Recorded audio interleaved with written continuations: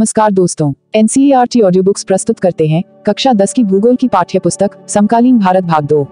प्रस्तुत है इस पुस्तक का दूसरा अध्याय, वन एवं वन्य जीव संसाधन। इस ग्रह पर हम सूक्ष्म जीवाणुओं और बैक्टीरिया, जोंक से लेकर वटवृक्ष हाथी और ब्लू वेल तक करोड़ों दूसरे जीवधारियों के साथ रहते हैं।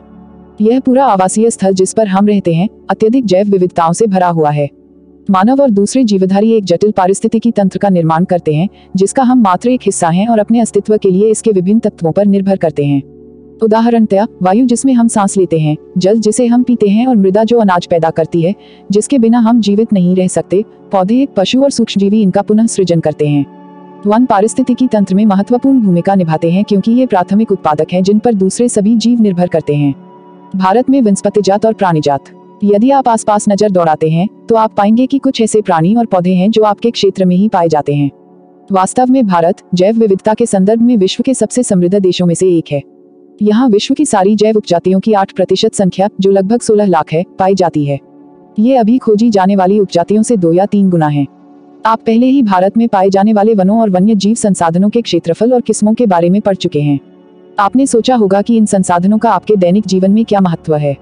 ये विविध वनस्पतिजात और प्राणीजात हमारे हर रोज के जीवन में इतने गुते हुए हैं कि हम इसकी कद्र नहीं करते।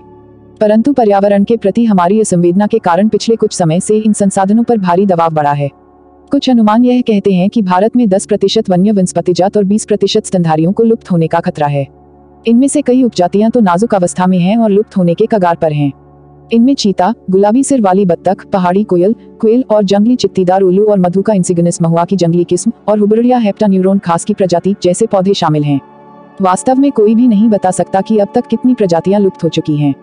आज हमारा ध्यान अधिक बड़े और दिखाई देने वाले प्राणियों और पौधे के लुप्त होने पर अधिक केंद्रित है, परंतु छोटे प्राणी जैसे कीट और पौधे भी महत्वपूर्ण होते हैं। आओ हम विभिन्न प्रकार के पौधे और प्राणियों की जातियों के बारे में पता लगाएँ। अंतर्राष्ट्रीय प्राकृतिक संरक्षण और प्राकृतिक संसाधन संरक्षण संघ आई के अनुसार इनको निम्नलिखित श्रेणियों में विभाजित किया जा सकता है। सामान्य जातियाँ। ये वे जातियाँ हैं जिनकी संख्या जीवित रहने के लिए सामान्य मानी जाती है, जैसे पशु, साल, चीड़ और कृंतक रोडेंट्स इत्यादि। संकटग्रस्त जातियाँ ये वे जातियाँ हैं जिनके लुप्त होने का खतरा है। जिन विषम परिस्थितियों के कारण इनकी संख्या कम हुई है, यदि वे जारी रहती हैं तो इन जातियों का जीवित रहना कठिन है। काला हिरण मगरमच्छ, भारतीय जंगली गधा, गेंडा शेर पूंछ वाला बंदर, संगाई या मणिपुरी हिरण इत्यादि इस प्रकार की जातियों के उदाहरण हैं। सुबेदिया वलनरेबल जातियाँ। ये वे जातियाँ हैं जिनकी संख्या घट रही है। यदि इनकी संख्या पर विपरीत प्रभाव डालने वाली परिस्थितियाँ नहीं बदली जाती और इनकी संख्या घटती रहती है तो यह संकटग्रस्त जातियों की श्रेणी में शामिल हो जाएँगी। नीली भेड़, एशियाई हाथी, गंगा नदी की डॉल्फिन इत्यादि इस प्रकार की जातियों के उदाहरण हैं। दुर्लभ जातियाँ। इन जातियों की संख्या बहुत कम या सुभेदिया हैं और यदि इनको प्रभावित करने वाली विषम परिस्थितियाँ नहीं परिवर्तित होती तो यह संकटग्रस्त जातियों की श्रेणी में आ सकती हैं। स्थानिक जातियाँ। प्राकृतिक या भौगोलिक सीमाओं से अलग विशेष क्षेत्रों में पाई जाने वाली जातियाँ अंडमानी टील निकोबारी कबूतर, अंडमानी जंगली सुअर और अरुणाचल के मिथुन इन जातियों के उदाहरण हैं।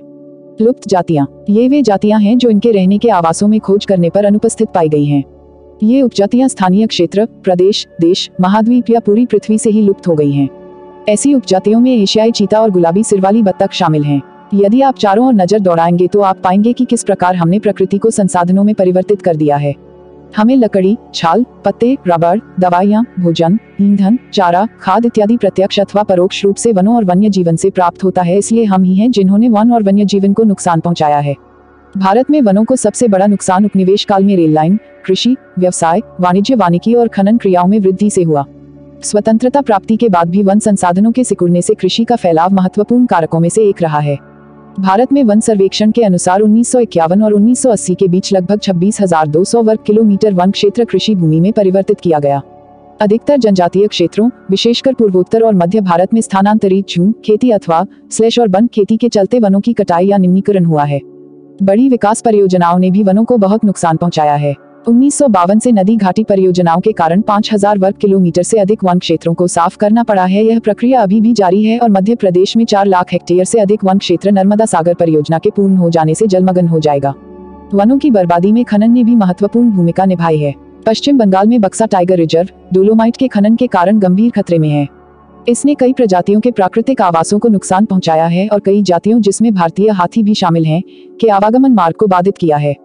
बहुत से वन अधिकारी और पर्यावरणविद यह मानते हैं कि वन संसाधनों की बर्बादी में पशुचारण और ईंधन के लिए लकड़ी कटाई मुख्य भूमिका निभाते हैं।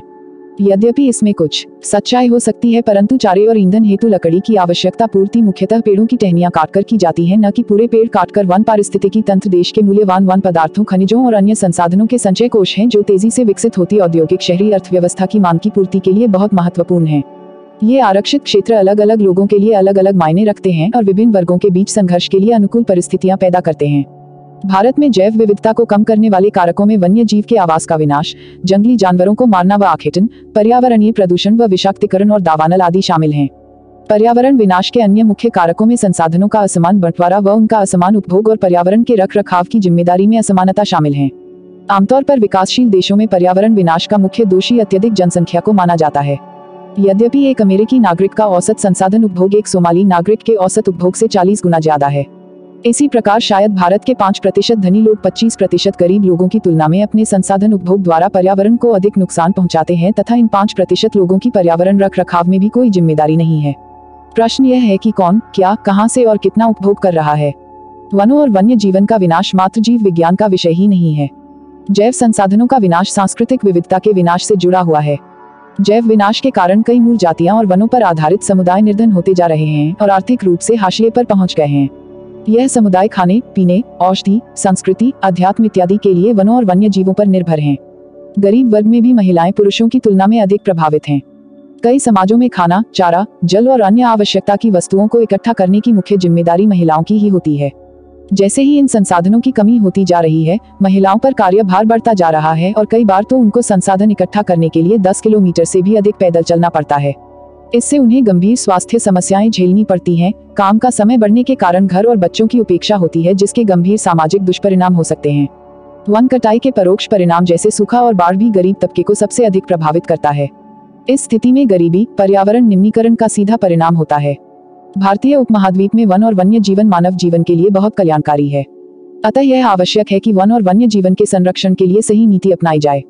भारत में वन और वन्य जीवन का संरक्षण, वन्य जीवन और वनों में तेज गति से हो रहे ह्रास के कारण इनका संरक्षण बहुत आवश्यक हो गया है। परंतु हमें वनों और वन्य जीवन का संरक्षण करना आवश्यक क्यों है? संरक्षण से पारिस्थितिकी विविधता बनी रहती है तथा हमारे जीवन साध्य संसाधन, जलवायु और मृदा बने रहते हैं। यह विभिन्न जातियों में बेहतर जनन के लिए वनस्पति और पशुओं में जीन्स अर्थात जेनेटिक विविधता को भी संरक्षित करती है। उदाहरण के तौर पर हम कृषि में अभी भी पारंपरिक फ़सलों पर निर्भर हैं। जलीय जैव विविधता मोटे तौर पर मछली पालन बनाए रखने पर निर्भर है। 1960 और 1970 के दशकों के दौरान, पर्यावरण संरक्षकों ने राष्ट्रीय वन्यजीवन सुरक्षा कार्यक्रम की पुरजोर मांग की। भारतीय वन्यजीवन अधिनियम 1972 में लागू किया गया, जिसमें वन्य जीवों के आवास रक्षण के अनेक प्रावधान थे। सारे भारत में रक्षित जातियों की सूची भी प्रकाशित की गई। इस कार्यक्रम के तहत बची हुई संकटग्रस्त जातियों के बचाव पर, शिकार प्रतिबंधन पर, वन्यजीव आवासों का कानूनी रक्षण तथा जंगली जीवों के व्यापार पर रोक लगाने आदि पर प्रबल ज़ोर दिया गया है। तत्पश्चात केंद्रीय सरकार व कई राज्य सरकारों ने राष्ट्रीय उद्यान और वन्य जीव पशु विहार अर्थात सैंक्चुरी स्थापित किए जिनके बारे में आप पहले पढ़ चुके हैं। केंद्रीय सरकार ने कई परियोजनाओं की भी घोषणा की जिनका उद्देश्य गंभीर खतरे में पड़े कुछ विशेष वन प्राणियों को रक्षण प्रदान करना था।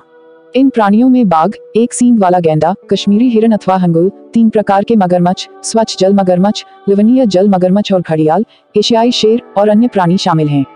इसके अतिरिक्त, कुछ समय पहले भारतीय हाथी, काला हिरण चिंकारा, भारतीय गोडावन अर्थात बस्टर्ड और हिम तेंदुओं आदि के शिकार और व्यापार पर संपूर्ण अथवा आंशिक प्रतिबंध लगाकर कानूनी रक्षण दिया है। आजकल संरक्षण परियोजनाएँ जैव विविधताओं पर केंद्रित होती हैं, न कि इसके विभिन्न घटकों पर। संरक्षण के विभिन्न तरीकों की गहनता से खोज की जा रही है। संरक्षण नियोजन में कीटों को भी महत्व मिल रहा है। वन्य जीव अधिनियम 1980 और 1986 के तहत सैकड़ों तितलियों, पतंगों भरिगों और एक ड्रैगन फ्लाई को भी संरक्षित जातियों में शामिल किया गया है। उन्नीस सौ इक्यानवे में पौधों की भी छह जातियाँ पहली बार इस सूची में रखी गई। वन और वन्य जीव संसाधनों के प्रकार और वितरण। यदि हम वन और वन्य जीव संसाधनों को संरक्षित करना चाहें तो उनका प्रबंधन, नियंत्रण और विनियमन अपेक्षाकृत कठिन है। भारत में अधिकतर वन और वन्य जीवन या तो प्रत्यक्ष रूप में सरकार के अधिकार क्षेत्र में है या वन विभाग अथवा अन्य विभागों के ज़रिए सरकार के प्रबंधन में है। इन्हें निम्नलिखित वर्गों में बांटा गया है। क. आरक्षित वन। देश में आधे से अधिक वन क्षेत्र आरक्षित वन घोषित किए गए हैं। जहाँ तक वन और वन्य प्राणियों के संरक्षण की बात है, आरक्षित वनों को सर्वाधिक मूल्यवान माना जाता है। ख. रक्षित वन। वन विभाग के अनुसार देश के कुल वन क्षेत्र का एक तिहाई हिस्सा रक्षित है। इन वनों को और अधिक नष्ट होने से बचाने के लिए इनकी सुरक्षा की जाती है। ग, अवर्गीकृत वन। अन्य सभी प्रकार के वन और बंजर भूमि जो सरकार, व्यक्तियों और समुदायों के स्वामित्व में होते हैं, अवर्गीकृत वन कहे जाते हैं। आरक्षित और रक्षित वन ऐसे स्थायी वन क्षेत्र हैं, जिनका रख रखाव इमारती लकड़ी, अन्य वन पदार्थों और उनके बचाव के लिए किया जाता है। मध्य प्रदेश में स्थायी वनों के अंतर्गत सर्वाधिक क्षेत्र है, जो कि प्रदेश के कुल वन क्षेत्र का भी पचहत्तर प्रतिशत है। इसके अतिरिक्त जम्मू और कश्मीर, आंध्र प्रदेश, उत्तराखंड, केरल, तमिलनाडु, पश्चिम बंगाल और महाराष्ट्र में भी कुल वनों में एक बड़ा अनुपात आरक्षित वनों का है। जबकि बिहार, हरियाणा, पंजाब, हिमाचल प्रदेश, ओडिशा और राजस्थान में कुल वनों में रक्षित वनों का एक बड़ा अनुपात है। पूर्वोत्तर के सभी राज्यों में और गुजरात में अधिकतर वन क्षेत्र अवर्गीकृत वन है तथा स्थानीय समुदायों के प्रबंधन में है। समुदाय और वन संरक्षण। वन संरक्षण की नीतियाँ हमारे देश में कोई नई बात नहीं है। हम आमतौर पर इस बात से अनजान हैं कि वन हमारे देश में कुछ मानव प्रजातियों के आवास भी हैं। भारत के कुछ क्षेत्रों में तो स्थानीय समुदाय सरकारी अधिकारियों के साथ मिलकर अपने आवास स्थलों के संरक्षण में जुटे हैं क्योंकि इसी से ही दीर्घकाल में उनकी आवश्यकताओं की पूर्ति हो सकती है। सरिस्का बाग रिज़र्व में राजस्थान के गाँवों के लोग वन्य जीव रक्षण अधिनियम के तहत वहाँ से खनन कार्य बंद करवाने के लिए संघर्षरत हैं। कई क्षेत्रों में तो लोग स्वयं वन्य जीव आवासों की रक्षा कर रहे हैं और सरकार की ओर से हस्तक्षेप भी स्वीकार नहीं कर रहे हैं। राजस्थान के अलवर ज़िले में पाँच गाँवों के लोगों ने तो 1200 हेक्टेयर वन भूमि भैरोदेव डाकव सोमचुरी घोषित कर दी, जिसके अपने ही नियम कानून हैं, जो शिकार वर्जित करते हैं तथा बाहरी लोगों की घुसपैठ से यहाँ के वन्य जीवन को बचाते हैं। हिमालय में प्रसिद्ध चिपको आंदोलन कई क्षेत्रों में वन कटाई रोकने में ही कामयाब नहीं रहा, अपितु यह भी दिखाया कि स्थानीय पौधों की जातियों को प्रयोग करके सामुदायिक वनीकरण अभियान को सफल बनाया जा सकता है। पारंपरिक संरक्षण तरीकों को पुनर्जीवित अथवा परिस्थिति कृषि के नए तरीकों का विकास अब व्यापक हो गया है। टिहरी में किसानों का बीज बचाओ आंदोलन और नवदानयन ने दिखा दिया है कि रासायनिक उर्वरकों के प्रयोग के बिना भी विविध फ़सल उत्पादन द्वारा आर्थिक रूप से व्यवहार्य कृषि उत्पादन संभव है। भारत में संयुक्त वन प्रबंधन कार्यक्रम क्षरित वनों के प्रबंध और पुनर्निर्माण में स्थानीय समुदायों की भूमिका के महत्व को उजागर करते हैं। औपचारिक रूप में इन कार्यक्रमों की शुरुआत उन्नीस सौ अठासी में हुई जब ओडिशा राज्य ने संयुक्त वन प्रबंधन का पहला प्रस्ताव पास किया। वन विभाग के अंतर्गत संयुक्त वन प्रबंधन, क्षरित वनों के बचाव के लिए कार्य करता है और इसमें गाँव के स्तर पर संस्थाएँ बनाई जाती हैं जिसमें ग्रामीण और वन विभाग के अधिकारी संयुक्त रूप में कार्य करते हैं। इसके बदले ये समुदाय मध्य स्तरीय लाभ जैसे गैर इमारती वन उत्पादों के हकदारी होते हैं तथा सफल संरक्षण से प्राप्त इमारती लकड़ी लाभ में भी भागीदार होते हैं। भारत में पर्यावरण के विनाश और पुनर्निर्माण की क्रियाशीलताओं से सीख मिलती है कि स्थानीय समुदायों को हर जगह प्राकृतिक संसाधन प्रबंधन में शामिल करना चाहिए। परंतु स्थानीय समुदायों को फैसले लेने की प्रक्रिया में मुख्य भूमिका में आने में अभी देर है। अतः वे ही विकास क्रियाएँ मान्य होनी चाहिए जो जनमानस पर केंद्रित हों, पर्यावरण हितैषी हो और आर्थिक रूप से प्रतिफलित हों। हमारी पाठ्य पुस्तक का दूसरे अध्याय यहाँ समाप्त होता है। आपसे अनुरोध है कि इस ऑडियो बुक को ज़्यादा से ज़्यादा शेयर करें। इस ऑडियो बुक से संबंधित यदि कोई शिकायत या सुझाव हो तो आप हमें कमेंट बॉक्स में ज़रूर लिखें। आपकी प्रतिक्रिया हमारे लिए अति महत्वपूर्ण है, ताकि हम आपके लिए इस ऑडियो बुक को और भी बेहतर बना सकें। अब हम आपसे मिलेंगे इसी पाठ्य पुस्तक के अगले अध्याय में। तब तक के लिए खुश रहिए, मस्त रहिए और खूब मन लगाकर पढ़ाई कीजिए। जय हिंद, जय भारत।